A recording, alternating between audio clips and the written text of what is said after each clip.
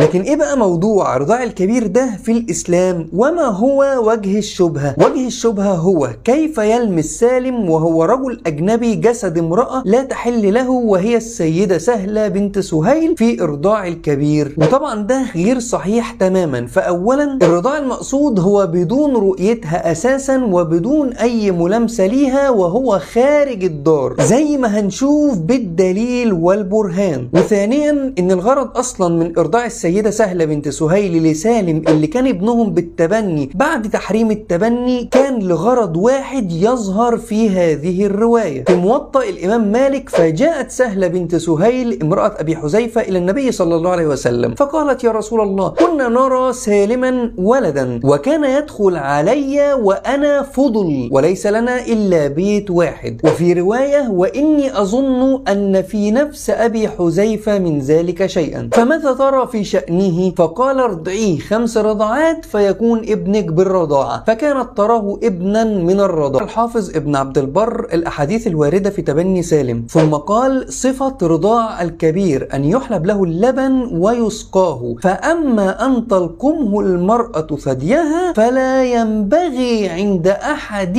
من العلماء. لفظ الرضاع أهو بيطلق عادي جدا في اللغة سواء كان على الرضاع بواسطة التقام الثدي أو شرب لبن الأم في اناء أو في مصعد مما يؤكد ذلك ما رواه ابن سعد عن الواقدي عن محمد ابن عبد الله ابن أخي الزهري. عن أبيه قال كانت سهلة تحلب في اناء قدر رضعه فيشربه سالم في كل يوم حتى مضت خمسة أيام فكان بعد ذلك يدخل عليها وهي حاسرة. رخصة من رسول الله صلى الله عليه وسلم لسهلة. ورغم ضعف هذه الرواية إلا أننا نفهم منها إن الرضاع في اللغة في اللسان العربي يطلق على شرب لبن الأم في مصعد مثل الزجاجة اللي بنضع فيها الآن اللبن للأطفال. فنقدر نستفيد من هذه الرواية الضعيفة المعنى اللغوي للرضاعة. إنها في لسان العرب بتطلق عادي جدا على شرب اللبن في إناء ضعف هذه الرواية لكن يؤيدها حديث آخر صحيح وهو قال النبي صلى الله عليه وسلم لأن يطعن في رأس أحدكم بمخيط من حديد خير له من أن يمس امرأة لا تحل له يؤيدها علماء اللغة والفقه كالإمام الشافعي. وكذلك الإمام أبي حنيفة اللي قالوا زي ما واضح على الشاشة قال الشافعي الوجور اللي هو صب اللبن في حلقه بدون التقام الثدي أو بواسطة الإناء يعني كالرضاع. وكذلك الإمام أبي حنيفة قال وهذا موجود في الوجور ولقول النبي صلى الله عليه وسلم في سالم أرضعيه خمسا يحرم بهن عليك ومعلوم أنه لم يرد ارتضاعه من الثدي. إيه؟ معلوم أنه لم يرد ارتضاعه من الثدي. ما كانش يقصد التقام الثدي خالص بتحريمه عليه. فثبت أنه أراد الوجود عدم وجود ولو رواية واحدة حتى ضعيفة بمباشرة ثدي المرضعة ولا رواية واحدة حتى فقط تصف طريقة الرضاعة. إذا يبقى ناخد بالأصل وهو حرمة مجرد النظر إلى الأجنبية أو مسها ببعض الأعضاء. حكم إرضاع الكبير عند غالبية الصحابة. جاء في موطأ الإمام مالك باب رضاعة الصغير. حدثنا مالك عن نافع عن ابن عمر. كان يقول لا رضاعة. نعم لا رضاعة إلا لمن أرضع في الصغر ولا رضاعة للكبير. وجاء أيضا في باب رضاع الكبير. قال عبد الله بن عمر قال عمر بن الخطاب إنما الرضاعة رضاع الصغير لا الكبير. فقال ابن مسعود لا رضاعة إلا ما كان في الحولين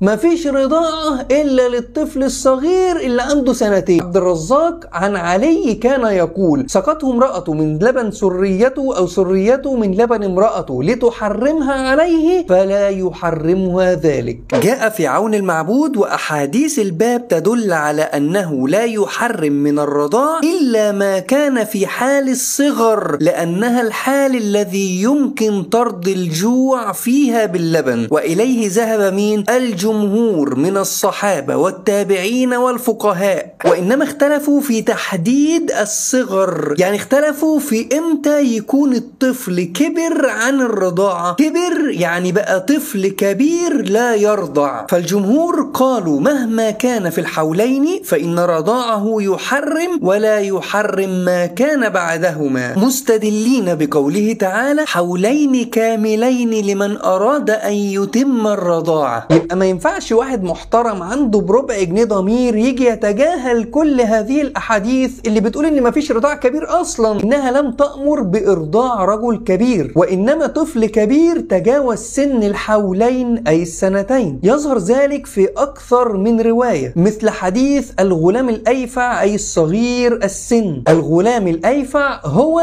من لم يتجاوز الحلم يعني لسه عيل صغير لم يبلغ أساسا. جاء في أحكام القرآن للجصاص وقد روي حديث عائشة الذي قدمناه في رضاع الكبير على وجه آخر. وهو ما روى عبد الرحمن بن القاسم عن أبيه أن عائشة كانت تأمر بنت عبد الرحمن ابن أبي بكر أن ترضع الصبيان يعني الأطفال الصغيرين قبل الحلم. حتى يدخلوا عليها إذا صاروا رجالا. طب هل في دليل أن السيدة عائشة أرضعت أحد؟ أرضعت. هي أصلا لم تنجب عشان ترضع. كلمة ترضع دي بتيجي بمعنى إنها توصي أحد غيرها بالرضاعة. كما في حديث المرأة الغامدية دي اللي اترجمت بسبب الزنا. الراجل ده قال للنبي إيه؟ أنا سأرضعه. إلي رضاعه. أي سأوصي له بمن ترضعه. نافع أن سالم ابن عبد الله بن عمر أخبره أن عائشة أم المؤمنين أرسلت به وهو رضيع. إلى أختها أم كلثوم بنت أبي بكر الصديق فقالت ارضعيه عشر رضعات حتى يدخل علي. قال سالم فأرضعتني أم كلثوم ثلاث رضعات ثم مرضت فلم ترضعني غير ثلاث رضعات فلم أكن أدخل على عائشة من أجل أن أم كلثوم لم تتم لي عشر رضعات. وعن مالك عن نافع أن صفية بنت أبي عبيد أخبرته أن حفصة أم المؤمنين أرسلت بعاصم بن عبد الله بن سعد إلى أختها فاطمة ليه؟ لترضعه عشر رضعات ليدخل عليها وهو صغير وهو إيه؟ وهو صغير يرضع ففعلت فكان يدخل عليها فاختلاف أمهات المؤمنين مع أم المؤمنين عائشة ليس في إرضاع كبير أو إدخال رجال عليها بهذا الإرضاع لأن هذا لم يحدث من أم المؤمنين عائشة أصلا ولكن كان وجه اعتراض أمهات المؤمنين هو إرضاع الصغار بقصد الدخول سواء كان الرضاعة قبل حولين أو تجاوزه بقليل. قد نقل القول برجوعها عن ذلك. قال الكاساني وأما عمل عائشة رضي الله عنها فقد روي عنها ما يدل على رجوعها فإنه روي عنها أنها قالت لا يحرم من الرضاع إلا ما أنبت اللحم والدم لاحظ بقى الجملة الخطيرة دي بيقول فلا بد من بيان الحد الفاصل بين الصغير والكبير في حكم الرضاع وهو بيان مدة الرضاع المحرم. عرفت بقى أنهم فعلا يقصدوا برضاع الكبير هو الطفل الكبير الذي تجاوز سن الرضاع في المهد قبل البلوغ. وجاء أيضا في كتاب التهذيب في فقه الإمام الشافعي الجزء الخامس صفحة 345 يقول وأما عمل عائشة رضي الله عنها فقد ورد ما يفيد رجوعها عنه بعد ذلك. واختلف الإمام وصاحباه في الحد الفاصل بين الصغر والكبر الذي به مناط التحريم. الكلام واضح أهو إن المقصود برضاع الكبير